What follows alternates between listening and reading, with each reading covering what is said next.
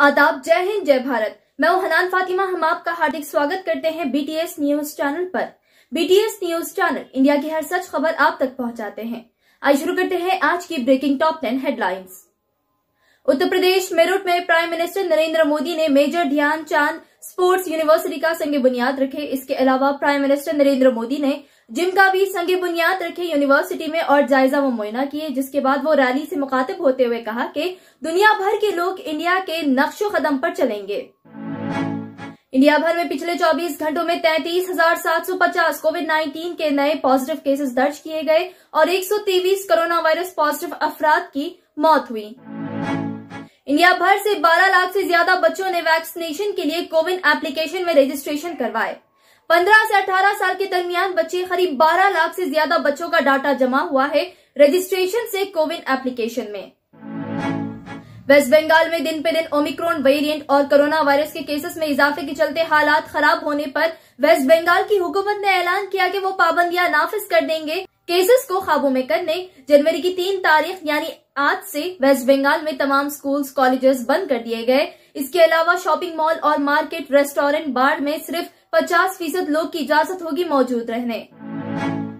आज हैदराबाद में Covid 19 vaccination drive बच्चों के लिए आगाज़ हुआ। 15 से 18 साल के दरमियान बच्चों के लिए आज बरोज पीर बतारीख तीसरी जनवरी को एआईएमआईएम कारवान एमएलए जनाब कौसर मोहुद्दीन साहब ने हॉस्पिटल गोलकुंडा इलाके का जायजा व मुआयना किए और कोविड 19 वैक्सीनेशन ड्राइव का इफ्ताह किए, जो 18 से 15 साल के दरमियान बच्चों को दिया जा रहा है। उन्होंने इस मौके पर मीडिया से मुखातिब करते हुए कहा कि, और माँ बाप से गुजारिश की कि उनके बच्चों की हिफाजत के लिए वैक्सीनेशन दिलवाए उनके बच्चों को।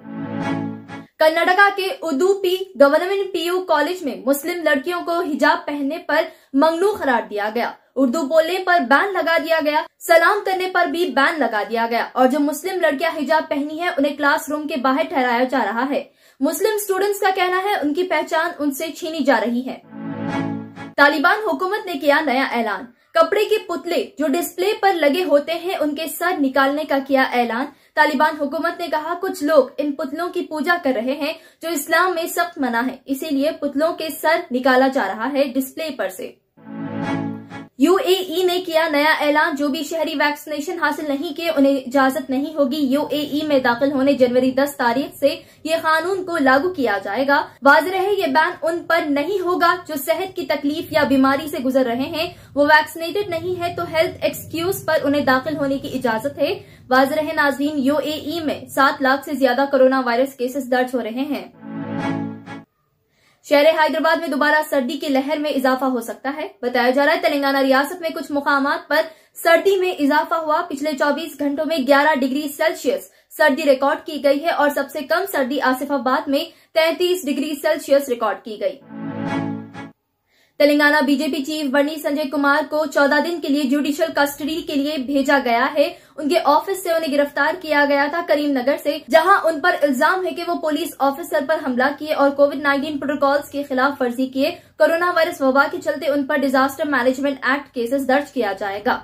ऐसे ही अहम खबरों से बाखबर रहने बीटीएस न्यूज़ चैनल को यूट्यूब पर सब्सक्राइब करें और बेलाइकन दबाना ना भूलें ताकि हर खबर आप तक पहुँचे। Bureau report BTS news channel